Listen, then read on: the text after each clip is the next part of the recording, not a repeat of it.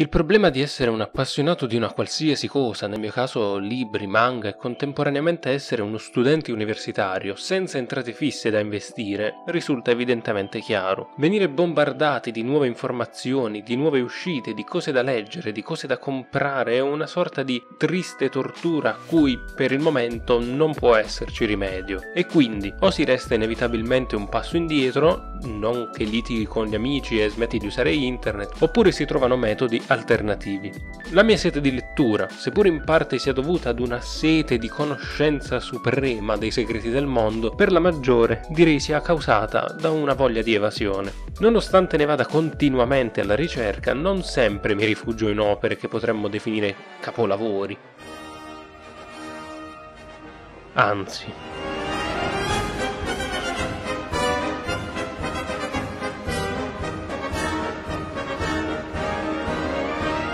Comunque, mettendo da parte tutti quei portali per l'inferno che sono i siti di scan, tra i servizi gratuiti esiste Webtoon, un'applicazione di origine coreana che permette di leggere gratuitamente i fumetti che offre, una sorta di YouTube del fumetto, in cui puoi pubblicare liberamente, creare la tua community e, se va tutto bene, cominciare anche a guadagnare qualcosa. E il paragone con YouTube non è casuale. Potendo pubblicare ognuno di noi senza problemi, la qualità generalmente non è elevatissima, sia in termini di idee che in termini di disegno. Prima di riuscire a trovare un lavoro che sia almeno decente, bisogna passare per un sacco di pubblicazioni dubbie. Così l'applicazione, invece di consigliarti i fumetti in maniera casuale, cerca di spingere maggiormente i fumetti di autori affermati, diciamo, gli autori che hanno avuto, avremmo detto su YouTube 900 anni fa, la partnership. Con l'uscita dell'anime di Tower of God, allora, uno dei fumetti di punta di Webtoon, ho pensato di realizzare questo video per parlarvi di altri tre lavori presenti sulla piattaforma in maniera totalmente gratuita che io seguo e apprezzo. Blue Chair credo sia effettivamente il fumetto più famoso su questa piattaforma. Ok, Prima di cominciare a parlarne, sì, i disegni non sono eccezionali, non ci sono dubbi, ma è giusto che sia così. Il fumetto non racconta un'unica storia super complicata con combattimenti e nemici, ma è uno slice of life mischiato alla stand-up comedy, in cui l'autore, attraverso il protagonista, racconta dei suoi pensieri, delle sue avventure, condendole con elementi fantastici, personaggi improponibili e un sacco di internet culture, riferimenti, citazioni e memini, soprattutto, al punto che qualche tempo fa un particolare episodio divenne un meme a sé stante, noto a livello mondiale, cosa che, anche se non sembra, è effettivamente difficile da realizzare, proprio da inserire nel proprio curriculum almeno, dai. Le battute, tra gli attuali quasi 650 episodi, si basano molto sul concetto del relatable, del far sentire il lettore in una situazione familiare a lui vicina. Non a caso uno dei personaggi secondari più noti è Life, la vita che viviamo ogni giorno, con la sua clava e i muscoli sovrumani, pronti a distruggere ogni nostro tentativo di felicità. Tale meccanismo di comicità è poi lo stesso che sta alla base delle vignette che vanno per la maggiore su Instagram. Non a caso, infatti, traslando il suo lavoro, il profilo dell'autore è arrivato a contare ormai 2 milioni di seguaci. Senza dubbio, per chi sia alla ricerca di una comicità elaborata o che ti lasci effettivamente spunti per una qualche riflessione profonda, no, questo non è il fumetto adatto, ma per farsi rubare un sorriso, allora ok, è la perfezione. Il mio consiglio è quello di dare una possibilità a questo autore. Non ci sono problemi di accesso all'opera, ogni capitolo va bene come primo, come punto di partenza. Quindi, in caso foste interessati, vi lascio in descrizione il profilo per seguirlo. Poi, in caso di apprezzamento, la mega maratona per recuperare ogni singola vignetta è, è garantita. Come Blue Chair, poi, cercando di sfruttare la scia e acquisire lo stesso successo, ce ne sono altri 100 milioni di lavori in qualsiasi tipo di declinazione. Per quanto riguarda la mia opinione, degno di nota è My Giant Nerd Boyfriend, sempre uno slice of life in cui la protagonista racconta, mediante i suoi occhi da innamorata, la vita del suo ragazzo, andandone a scoprire i gusti, le passioni e le abitudini. Anche qui il tema nerd regna sovrano, dato che nella coppia sono entrambi videogiocatori e divoratori di anime e manga, quindi per chi sia alla ricerca di riferimenti e citazioni è un semaforo completamente verde.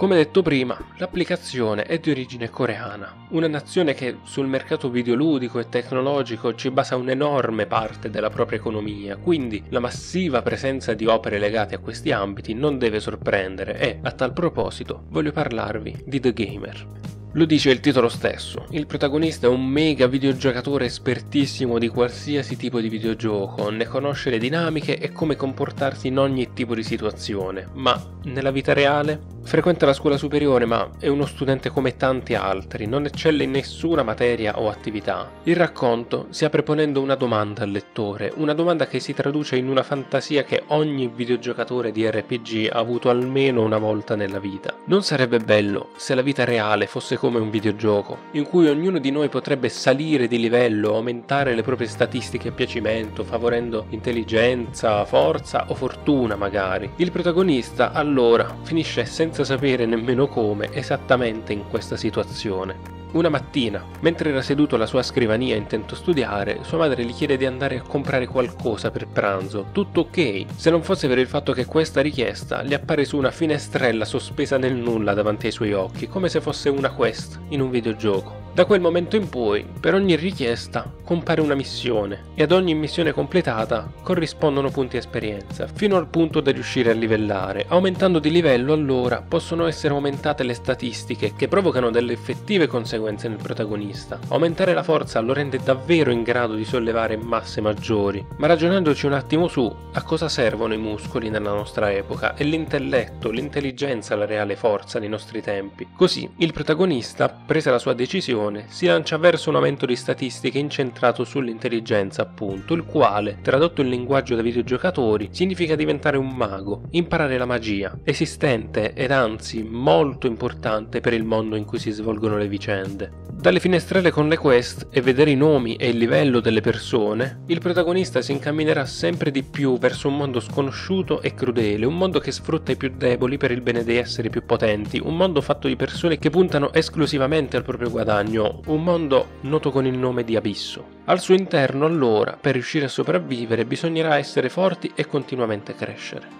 Tra gli allenamenti e i combattimenti, il protagonista diventerà sempre più famoso e, in questo mondo corrotto, verrà riconosciuto con il titolo The Gamer.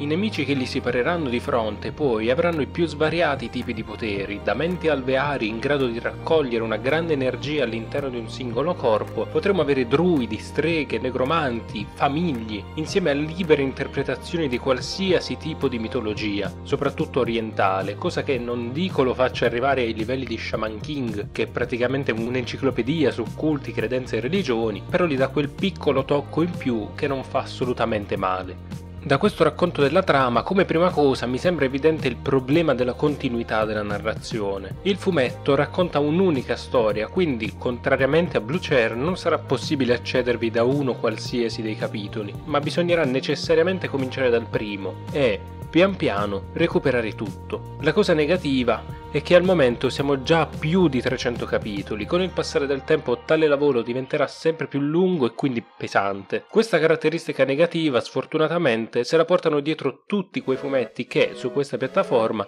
decidono di raccontare un'unica storia continua Dato che emergere e soprattutto riuscire a guadagnarci qualcosa dal proprio lavoro risulta molto complesso, una volta che gli autori acquisiscono quel certo livello di popolarità, non avendo, come nel caso giapponese, una rivista, editor e sondaggi pronti in caso di necessità a tagliarti le gambe, cominciano pian piano a trasformare la storia in modo da poterla far andare avanti potenzialmente all'infinito. Tutte le trame di questo tipo di storie sono molto semplici, non c'è quasi mai un nemico finale ben chiaro e definito, definito o comunque uno specifico obiettivo da raggiungere. Prendiamo proprio Tower of God ad esempio. Abbiamo il raggiungimento della cima della torre come obiettivo finale, ma la scalata vera e propria alla fine non esiste. È più una cosa metaforica che altro. Non ci viene mai descritto bene cosa sia effettivamente questa cima e in più sappiamo per certo esistere qualcosa dopo. Quello che renderà bello queste serie allora sarà il world building oppure il complesso sistema di regole alla base dei combattimenti e l'utilizzo delle magie. Tornando al discorso allora, recuperare opere in corso potrebbe risultare un'impresa difficile, così come riuscire ad assistere alla conclusione di queste opere potrebbe risultare un'impresa ancora più difficile. Ma questo non vuol dire che non ne valga la pena. In un modo o nell'altro, chi più o chi meno,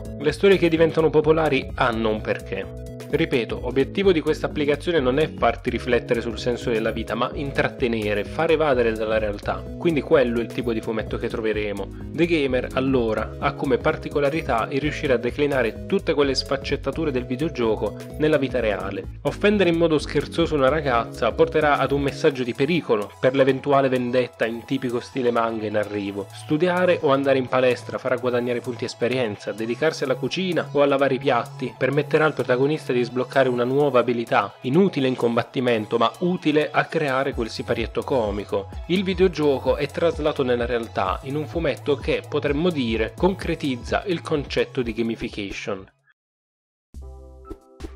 Abbiamo quindi parlato di uno dei fumetti con capitoli standalone e uno dei vari fumetti di combattimento.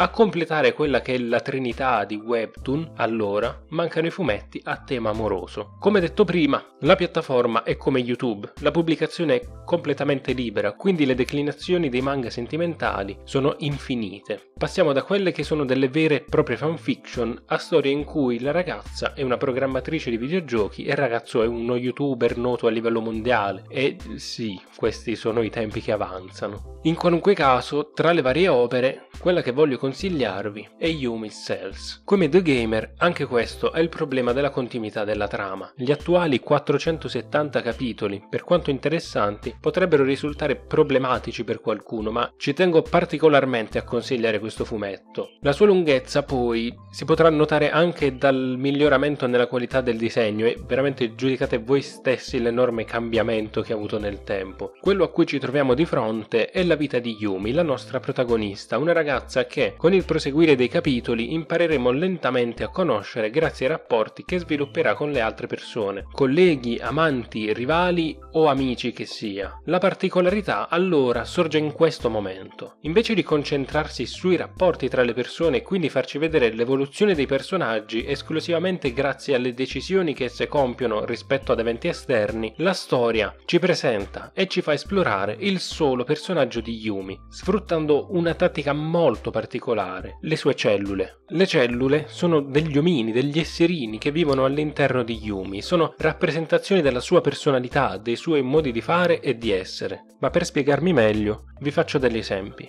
La cellula dell'appetito è quella con il compito di saziare lo stomaco di Yumi quando ve n'è bisogno. Tale bisogno, in particolare, verrà rappresentato dalle dimensioni della cellula stessa. L'enorme statura, molte volte superiore rispetto a quella di una normale cellula, rappresenterà un grande appetito da parte della protagonista, mentre dimensioni normali rappresenteranno la sazietà. Per andare a personalizzare Yumi, allora, senza che ci venga detto in maniera diretta in un dialogo o in una vera e propria descrizione, la cellula dell'appetito appunto la vedremo sempre gigante, colossale e alla ricerca di cibo, proprio a rappresentare l'infinito appetito della protagonista, specialmente per i suoi piatti preferiti. La cellula detective invece è la cellula addetta ai ragionamenti logici, alle investigazioni, è quella parte di Yumi che scruta cosa si nasconde dietro delle parole che le vengono dette con un particolare tono, quella che intuisce le intenzioni di uno sconosciuto. Le sue deduzioni sono sempre corrette, ma non sempre la logica è la via migliore. A contrapporsi allora troviamo la cellula romantica, addetta, come dice il nome stesso, al romanticismo, alle emozioni forti, a quelle decisioni prese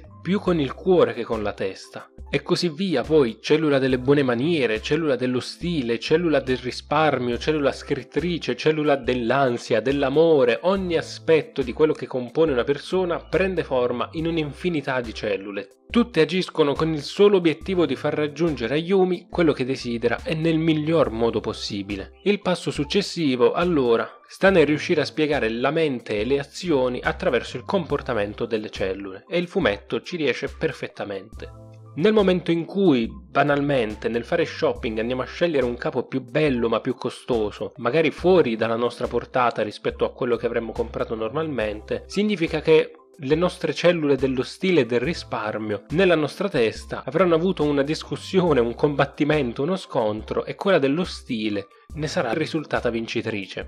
E lo scontro verrà rappresentato nella sua interezza, senza risultare mai banale e scontato. I dialoghi tra le cellule rispecchieranno la perfezione i pensieri che ci girerebbero in testa, del tipo non dovrei, costa troppo, però mi starebbe bene e così via. Tutti i ragionamenti umani vengono trasposti nella dimensione delle cellule. Nell'approcciarci a qualcosa di nuovo ci sarà una muraglia a nostra difesa che con un efficacissimo sistema sarà in grado di accettare o rifiutare qualsiasi cosa. Cose che finiamo per adorare, oggetti, film, cibo, risultano in grado di abbattere senza problemi ogni tipo di difesa e finiscono per far parte di noi per sempre. Nel momento in cui dovremo prendere una decisione importante, invece, faremo sempre riferimento a quella che è la nostra scala di valori, scala che verrà identificata attraverso una vera e propria classifica all'interno del fumetto. C'è chi considera se stesso al primo posto, c'è chi considera più importante dedicarsi agli altri, c'è chi mette al primo posto il proprio amante o la propria famiglia e questa classifica può cambiare ad un certo punto della nostra vita. L'autore sarà in grado di descriverci i personaggi anche mediante questa classifica, sempre in questa maniera non diretta. È sorprendente e soprattutto divertente scoprire tutte queste infinite dinamiche che l'autore riesce a creare. Per quanta voglia io abbia di raccontarvele tutte, mi sento trattenuto da questo senso di non spoilerare troppo per non rovinarvi il gusto della scoperta. Per dirvi, anche il sesto senso finisce per avere una spiegazione o il classico riuscire a pensare dare una risposta corretta solo quando ormai è troppo tardi. Tipo quando ci stiamo facendo la doccia e sei mesi prima abbiamo avuto una discussione e riusciamo a pensare alla risposta perfetta. Anche la telepatia con le altre persone viene spiegata. Ci sono mille cose che vorrei dirvi, ma mi fermo e mi limito a consigliarvi fortemente questo fumetto, sorpreso di come assolutamente non se ne senta parlare.